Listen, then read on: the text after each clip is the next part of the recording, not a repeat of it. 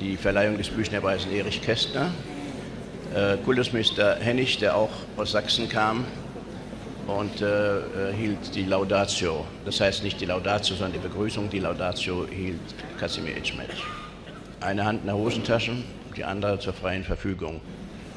Ja. Und was er sagte, wurde unterstrichen.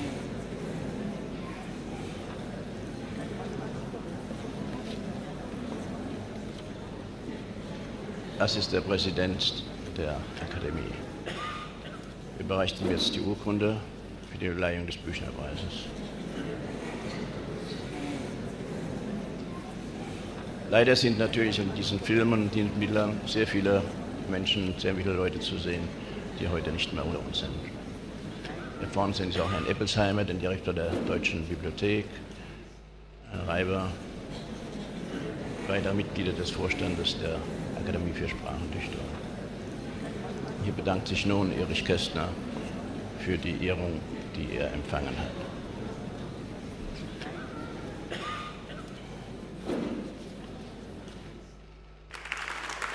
Professor Bartning, der Dichter Boré, Karl Friedrich Boré, der auch in Darmstadt lebte.